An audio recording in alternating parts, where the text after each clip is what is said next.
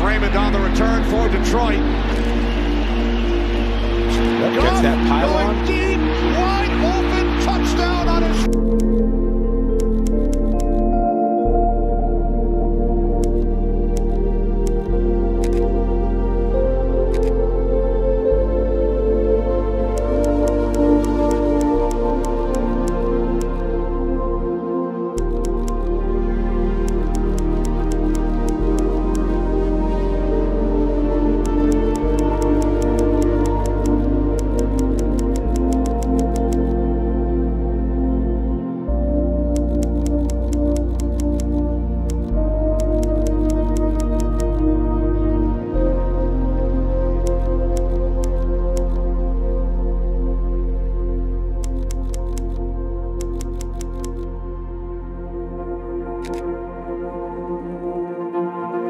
thank you